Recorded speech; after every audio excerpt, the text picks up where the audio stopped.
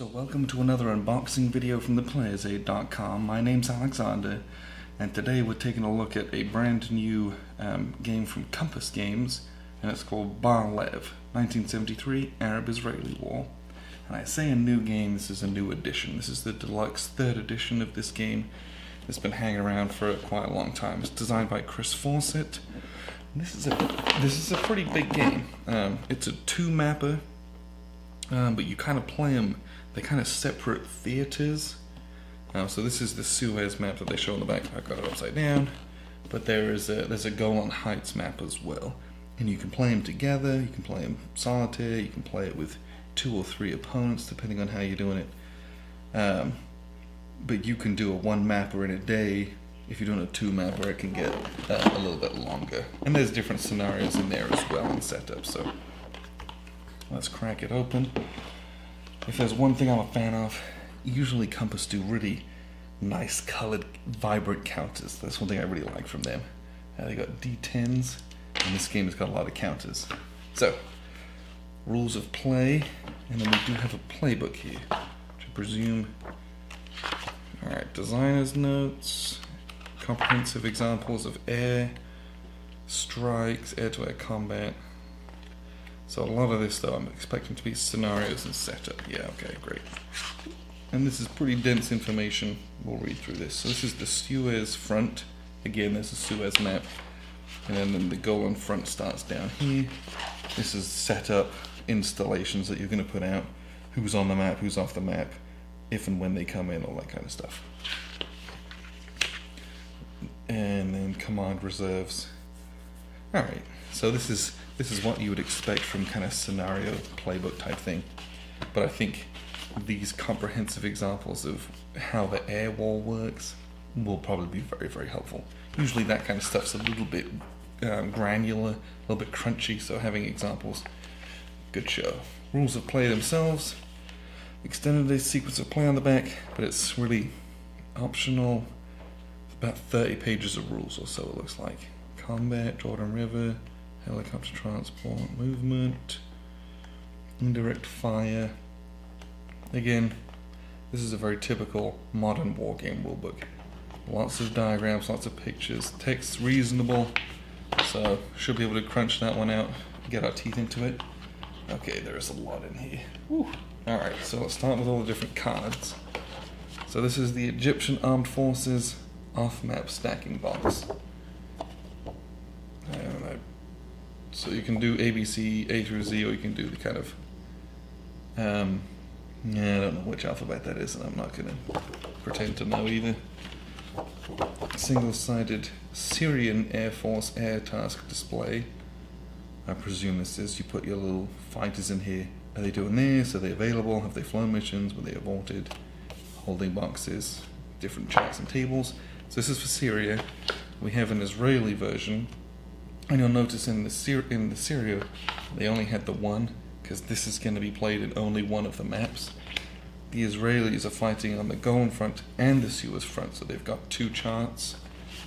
And then the Egyptians on the Suez front here, you've got um, this one here for air superiority. So again, Israeli playing on both maps, Syrian and Egyptian on, on a map respectively. These are identical play this is a lot of unit notation. At some point you probably won't need these, but you will need the terrain effects charts. All the different modifiers, all the different terrain types. These are identical, one for each player. And these are indirect fire tables, direct fire tables, airdrop, air to ground. These are single-sided. These are also identical. Here's what I said about vibrant counters.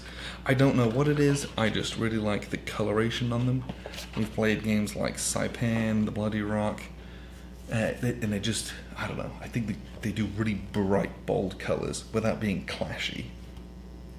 So this is counter sheet number one? Yes, sheet one. As you can see, standard NATO symbols in different formations except for the tanks, which have um, tank symbols on them. I, I don't know for sure. These might be the, those installations they were talking about. And the reverse side. Where the numbers are much reduced. These are the, this is the weaker side. I like that they made those all about a, a different shade. There's really no missing that on the map. These more Israelis. Oh, a ton more formations, some game turn markers, and some dismounted markers, and then all the different aircraft here, which looks like we've got a lot of F4s, Phantoms, A4s, and a couple of other different marks. Got some Mirage, and a whole bunch of different ones down here as well. So that's your Israeli counter sheets. I don't. Uh, which one's which? That's a good question. Okay. I think this is the Syrian. Oh no, this is Egyptian General Reserves. So these guys are Egyptians. Where are the Syrians? Ah, okay. No, that's Arab. Syrians are green, presumably. Okay, we'll get there. Alright. Again, here's all your um, Egyptian MiGs, SU 7s, ton of counters everything's very visible. That's what I like to see on the counter. Is it easy to see? Is it pleasant on the eye and your reduced sides as well? Whew. This is Egyptian Second Army. Are these kind of dark olive. This is Egyptian General Reserves. These are kind of brown ones. That's a lot of guys. And then this is the Egyptian Third Army. And then down here, this is Arab Minor Allies. So this is probably just a conglomeration of all the minor nations in the area that contributed forces, but not an absolute ton of guys. Green counter sheets. Let's see. Did they say who these were?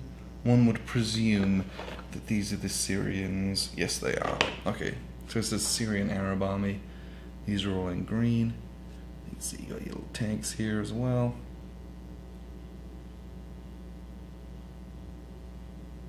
A whole bunch of guys on there, and their reduced sides are nice light green. Whew. High, low, pretty much cloud markers for air cover, supply markers, Syrian Air Force. And who are these light greens? Oh, this is the Iraqi army. And their reduced sides respectively. And then a sheet of fired markers, supply markers, FF taken. So I think with how many Egyptians there are, you put them in those kind of off-map stacking boxes so that you don't get ridiculous stacks and these are the corresponding uh, markers that have moved on the board, presumably, so you don't get huge stacks that I'm going to knock over every time, which I appreciate. A whole bunch of markers there. So, last thing in the box, we've got two maps, as we discussed earlier. So the first one, let's look at the Golan map. I believe it's this one. Alright, uh, let's see which and it's kind of oriented this way, at least this is the way the words are written on the map themselves. So you got Lebanon up top and Jordan down bottom, not playable. And it looks like you've got your, well, how are they divvying this up? Big kind of mark, the demarcation down there. But yeah, this is Golan Heights map. And we have, alright, different different group holding boxes down here, and you've got central front mobilization boxes, moving guys around to actually get them onto the board and get them going as the war goes on. Uh, down here we have a turn track marker, and there's also an Israeli turn record chart on this side. And down here we have Syrian operation points and morale track. And again, conversely, you've got the Israeli one on this side.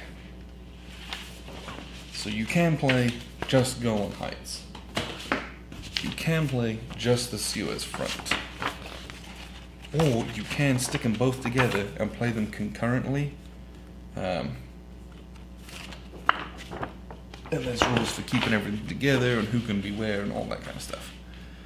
Uh, that? The, well, we'll just show you this side. So you got Egyptian stuff on this side, and it's again, it's the same boxes, holding boxes over here, and then turn track and a little morale track there. Obviously, you'd be looking at it from this direction if you were looking at a map. And then, uh, again, these holding boxes, and there's a little, little smaller mobilization front, and you can move guys uh, from the central front and all that kind of stuff. So, the map themselves, not huge, right? A lot of the map is holding boxes. This is where you're playing, so I'm expecting the fighting to be uh, um, pretty violent, like it's going to be like a storm in a teacup almost. And by that, I don't mean it's a storm in a teacup. I mean it's going to be very concentrated and uh, you know a very violent engagement where there's a lot of action going on. I hope. Uh, but this is a, a, big game. That's not a that's not a small amount of counters going on. But I think if you play just one of the maps, probably very manageable in a day. Um, if you're going to play them all together, you're going to have a pretty significant, um, a significant game and probably a decent time length. But the reality is, those it's not huge five mappers. That's two smaller maps. Again, with all the holding boxes. And it says here, it says 12 plus hours for a two map game but it's not going to be like a 300 hour game. It's not. It's not a GTS. It's not a huge OCS game. You know, if you want to play them both, you know, you know, it might take one weekend, but it's not going to take a month's worth of weekends. So we'll get this one to the table and at least start getting pushed counters pushed around and play around and learn this one. Uh, but this is Barlev, the deluxe third edition from Compass Games. I've been Alexander from theplayersaid.com. Thanks for watching.